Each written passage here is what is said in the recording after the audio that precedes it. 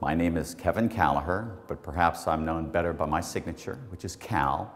I'm the editorial cartoonist for The Economist magazine of London. I think a political cartoonist is really a columnist uh, using pictures. Um, I start the day when I'm looking at a blank piece of paper, not really thinking about what's funny today, but thinking about what's important to talk about. And so you, you first wear a hat of a journalist, um, then you put on the hat of a, of a commentator where you're trying to take the news and, and make a spin, make a particular uh, observation. Uh, then you put on the hat of a satirist, where you're imbuing your commentary with humor in order to make it more accessible to folks. Finally, you, you become an artist. You take the satiric commentary and then you use all the skill sets that an artist must have caricature and design and composition and, and timing and lettering and, and inking in order to create a combustible and engaging uh, package that somebody will read in about five seconds. It's very easy for people to see you as a person that's only sort of hitting at, at all sides. But in fact, if you look at my collection of cartoons during the Bush years, they seem like that they're hammering Bush. The cartoons of the Clinton years seem like they're hammering Clinton because whoever's in charge normally gets the brunt of what's going on. I like to tell people that a political cartoonist is really like a sheepdog, is that we're not in the business of going in front of people and having people follow us. We're in the business of going behind a crowd and biting them in the rear end to force them to go in a certain direction. September 11th and the weeks and months that followed were very challenging ones for the nation. Uh, turning point in many of our lives and a, and, a, and a, really challenging time to be a satirist in this country. I knew that I had to be um, sensitive. You didn't want to be too sycophantic and, and too syrupy, uh, appropriate, uh, and that was going to be tricky. But I tell you where the, the, the real difficult bits came several months later.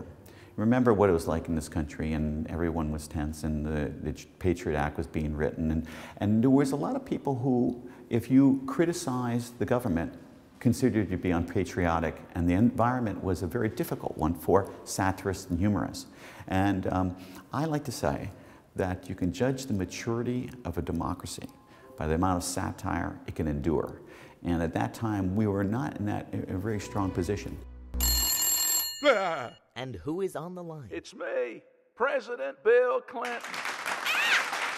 Fast forward, um, eight, you know, seven, eight years later, the 2008 campaign, and satire was become central. You know, you had Sarah Palin and, and Saturday Night Live, you had Jon Stewart coming forward, and now I feel that we've come a full circle, that uh, we passed the test as a nation, and now we're back to a more healthy country. This cartoon here of the two candidates from the 2008 campaign tells a story of the two characters. You have John McCain, who is a very tight, you know, war hero um, sort of guy, piercing eyes, okay? And he looks like he'll bite your head off if you get close to him. Meanwhile, Barack Obama is more loose. He's hopeful, he's optimistic, he's got a thousand watt smile, and those characters and the kind of appeal that they have, I think, also plays into the way that the uh, population observes them. And it's during a campaign when I think cartoonists feel that they are at their best because we are also contributing to the dialogue. We're helping the, uh, the voters um, learn and, and understand the characters. Uh, 2008 was particularly that so because remember, there was about 12 Republicans running. How did people learn about them? Sometimes the cartoons were the lessons. We don't realize how lucky we are in this country that we're able to exercise this. Uh, recently, this exhibition was on display in, in St. Petersburg, Russia, uh, alongside cartoons on the history of American cartooning and cartoons in the history of Russian cartooning. And uh, people would walk through and see cartoons of mine criticizing, you know, Barack Obama and, and, and Bill Clinton and George Bush, and they would all laugh, and then they'd look at me and say, why aren't you in jail? You know, and you have two operating hands and all your digits are still working. Um, and uh, there was one particular moment when I was addressing a school. And um, I showed them the cartoons, and someone put up their hand, and they said, um, did you get permission from the president, you know, to be able to draw like this? I said, no, you know, we have a constitution that enables us to do this, at which point the room broke into spontaneous applause.